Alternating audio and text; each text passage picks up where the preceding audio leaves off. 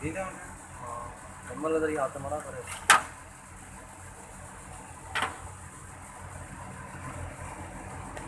ਆ ਤਾਂ ਹੱਥ ਤਾਂ ਸਾਰਾ ਹੱਥੇ ਕਰ ਲਿਆ ਹੁਣ ਮੈਂ ਜੈਕ ਤਾਂ ਕੱਢਣਾ ਹੀ ਆ